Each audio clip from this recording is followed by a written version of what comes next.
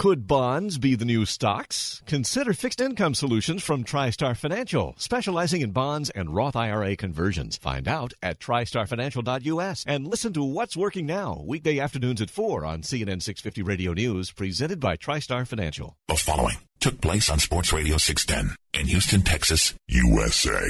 Earth. From the Bud Light Studios, you're listening to Sports Radio 610. Welcome back. It's getting crazy in here. It's good to have you along. We want to see you out here at Refs Sports Bar and Grill, 249 at Louetta. We're here until 7, but actually 11. We started our broadcast at 2. We're going to continue broadcasting live here until 11 p.m. Sean Bajani and Barry Warner will take you into the evening hours with Robert Hensley, Rich Lord, and we are joined now by John McClain who is uh, has carved out a little spot for himself here in a very popular place, Ref Sports Bar and Grill. There's a good crowd here already. You need to come on out here and join the fun. John, how are you today? I'm doing great. I have not been anywhere where there was so many good-looking women since the Super Bowl in Miami at South Beach. Good point. I mean, this is the best-looking group of referees I've ever seen. If you don't know, the waitresses here all wear the black and white striped referee outfits, and they uh, complement those outfits very nicely. I just got called for unnecessary roughness.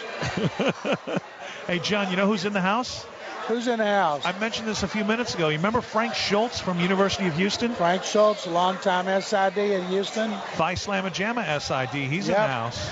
Is that right? Yeah, it was good to see him. So how are you today? You're keeping busy in advance of the draft, I assume. I've been working on the draft around the clock. Texans just signed Rashad Butler and Chris White to their tenders. They're both restricted free agents, and uh, I've done so many mock drafts, I can't keep up with them.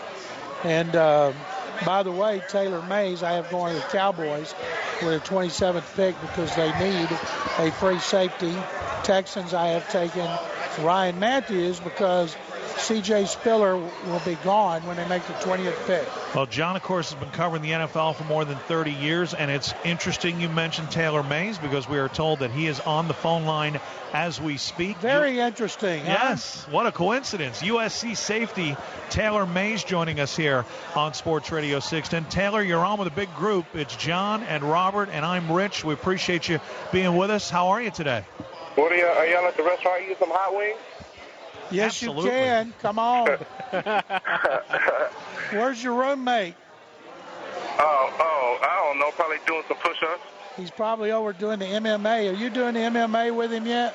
No, I haven't did it yet. I watched him do it. I watched him wrestle. Uh, I know. I know he wrestled Chuck Liddell the other day. And who got the best of that? He said Chuck Liddell was strong, so I don't know. what do you think about that, Taylor? Brian working. Brian, of course, is very popular here, as you know. Your former roommate at SC. What do you think about him taking that regime that he's doing with Jay Glazer and Chuck Liddell and Randy Couture out in Hollywood? You know, he. Uh, I think it's good. I think it's good that he's out there doing that cross training. And, and Kush, he's so educated on, on working out and what he needs to do. So um, I know he's getting the most out of it. I know he's not just doing it to do it to, you know, to, for the looks or anything like that. I know he's getting a lot out of it, and you know, I'm, I'm sure it'll pay off for him.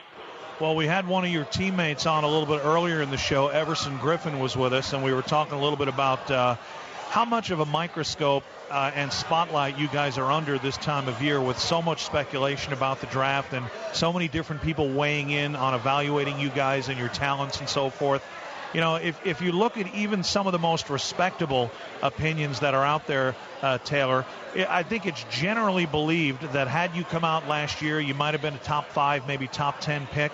And most people now are projecting you as a guy that perhaps, as John just said, is going to go toward the back end of the first round. Uh, do projections like that bother you at all? That that it seems like in the in the span of just one year, uh, people are viewing you viewing you uh, actually pretty significantly differently than they did a year ago.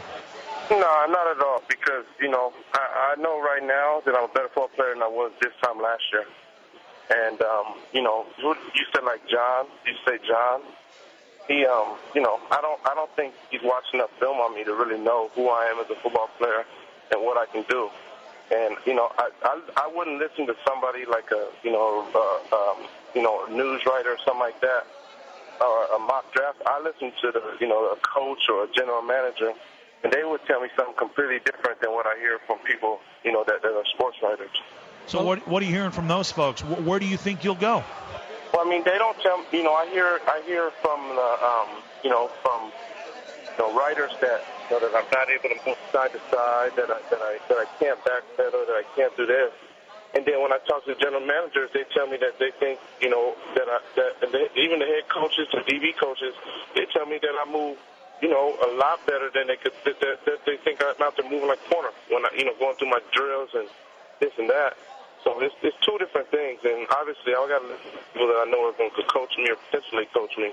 And so you you can only let it go so far. Um, just frustrating because I feel like a lot of times people make they say things without knowing what they're talking about and um, or they say something because somebody else says it. But uh, you kind of just got to block that out and just focus on what you control and and just listen to the people that really um, are the decision makers, not the people that are not decision makers. How would you feel about going to the Cowboys because they need a free safety? I, I, would, I wouldn't. I love. I don't. You know, it doesn't matter to me. I just want to. I, I love. I just got back from Valley Ranch two days ago, um, and I love Coach Coach Maxie and Coach Phillips and you know, I love what that organization stands for.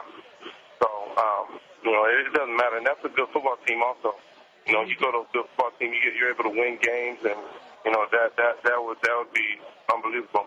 Taylor, can you get a feel when you travel to meet with these teams? Uh, you know, if they are interested in taking you, do they do they let you know or get some insight into what they're looking for, or is it pretty much like when you meet with them at the, the draft combine when it's uh, you know it's a little bit more you know they're asking a lot of players the same questions yeah you know i uh you get you get definitely a lot more insight a lot more insight because you're hanging out with them you know face to face it's not a 15 minute um you know meeting where you where you hear a whistle it's like a you hanging out with them you know at the facility and this and that and it's a lot different and i got a very i had the same vibes it's not a lot more. You know, when I was on these trips that I took then when I was uh, at the combine. You know, it was a lot better, and I got very good feelings from these teams, and I'm very confident in what they said to me. You know, made me think that, you know, okay, obviously this is completely different than what you know is projected from what other people say. How many teams have you visited, and uh, of those, I guess, which ones do you think are likelihoods that you might that might pick you? Uh, I think all of them would. They all. I mean, I oh, when I talked to them, they said, "Man, if you were there, we would love to take you." You know, and they said that's that's what the feeling was. That feeling really was from all the all the teams I visited. I visited. Uh, I went to Cincinnati. I went to Kansas City. I went to San Francisco, and I went to Dallas. So well, Pete Carroll didn't have you come up to Seattle. Is that uh, bother you a little bit that your old coach no. didn't? yeah. Nah, because you know there's there's no point. You know he knows me better than anybody else knows me. You know, I don't have to show anything. Of, you know, you know, he knows. I don't think I don't think they interviewed any USC guys. That's interesting. Well, Taylor, I got to ask you, uh, basically plain and simple, how fast are you? Because at the at the combine, originally a time of 4.24 came out, and you're 230. I mean, that was yeah. an incredible time, and then it was adjusted uh, to 4.43. What's your best 40 time? Well, 4.43 was wrong the 4.3 was wrong, and they admitted to me that they had a malfunction on my time. So, you know, they told me that I was somewhere between where, where Jacoby ran. I think Jacoby, well, I don't know if Jacoby ran, and but, but behind Jacoby and in front of Trindon Holliday. Um, you know, I know I ran a 4.25 at USC two years ago, electronic. So I, I would say I'm in that range. You know, I, I was surprised when they tried to change my time and tell me 4.43. That was real frustrating because it wasn't fair. Well, that's got that's got to bug you a little bit if the if the reported time in your 40 at the combine was wrong because let's face it, that's dollars. I mean, the 40 time probably shouldn't mean as much as it does, but that's dollars, is it not? Yeah, it's for me being a big safety, it's, it's a lot of money. It's the difference between going, I think, you know, later in the 20 some picks to the mid to the mid round, you know, or even to the top 12 picks. It's, it's a huge difference. But with that said, is you know the NFL. When I talk to the, the coaches and you know the, the, the GMs, they don't go by that time. That's the electronic time because they know that it can be wrong. All these, most of these teams, I really would say all of them, 100 percent of them, have me at the hand time anywhere